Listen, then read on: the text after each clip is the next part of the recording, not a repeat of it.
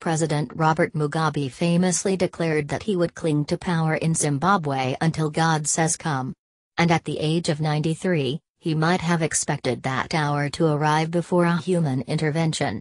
Nonetheless, following the military takeover, the leader of 37 years standing must now barter himself a future.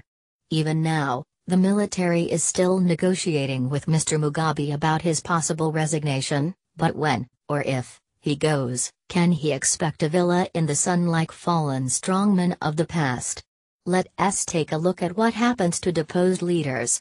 Traditionally, when an authoritarian leader is ousted, they flee overseas after securing a promise of impunity. Forced or voluntary, their exile is designed to avoid conflict or civil war.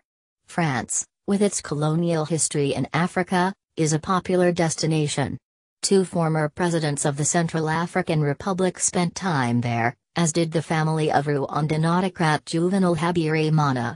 Others are guided by their political sympathies. Erich Honecker for 19 years leader of the Socialist Unity Party in East Germany, fled first to Moscow, then to Chile, after the Berlin Wall came down. In 1986, the 20-year reign of Ferdinand Marcos was brought to a close after four days of protests on the streets of Manila. U.S. President Ronald Reagan, a former ally, urged him to step down and he fled the Philippines for Hawaii. Saudi Arabia is a good bet for ex-dictators with few friends left. Uganda Idi Amin spent 24 years there before his death in 2003. And eight years on he was followed by Tunisian ex-president Zine Al Abidine Ben Ali, who found nowhere in Africa would take him. Does sheltering a deposed leader damage the host country's image? The answer is, not usually.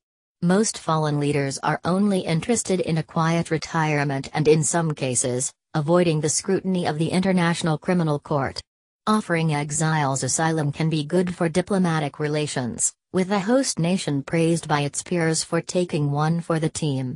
When Mr. Ben Ali arrived in Saudi Arabia, for example, the kingdom issued a carefully worded statement. Out of concern for the exceptional circumstances facing the brotherly Tunisian people and in support of the security and stability of their country. The Saudi government has welcomed President Zine Al Abidine Ben Ali and his family to the kingdom, it read.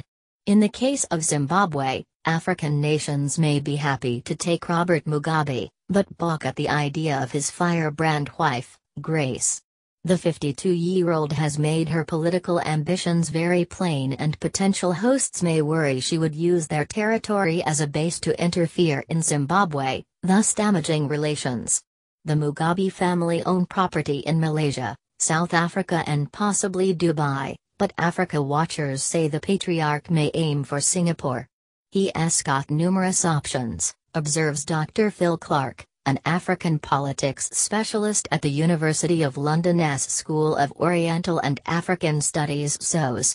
He's been going to Singapore a lot for medical treatment for more than a decade now, and he seems to have a pretty good relationship with the Singaporean authorities. The fact that Mr. Mugabe is not fleeing a bloody coup but negotiating peacefully with the army and people inside his own party, ZANU-PF, is likely to help his chances. South Africa is the other main contender, as Mr. Mugabe has a strong relationship with President Jacob Zuma and historic links to the country. I think Zuma is going to find that pretty difficult to justify to his own electorate and party at the moment. I think that one is probably not going to happen, Dr. Clark says. South Africa is also a risk for Grace Mugabe. In August, the First Lady was granted diplomatic immunity over claims that she had assaulted a model at a Johannesburg hotel where her sons were staying. But if her husband leaves power, that protection will evaporate too. Archbishop Desmond Tutu once said that Zimbabwe's longtime leader had become a cartoon figure of the archetypal African dictator. Despite that he is still popular on the continent and seen by some as a liberation hero. Togo, Equatorial Guinea and Morocco all have past form for taking in exiled presidents, if Mr. Mugabe is minded to stay within Africa. Ironically perhaps, Zimbabwe has welcomed more than one difficult diplomatic exile too. Ethiopia's Mengistu Haile Mariam, who executed thousands of suspected opponents during the 1970s, has enjoyed a lavish life in asylum thanks to his friendship with Mr. Mugabe.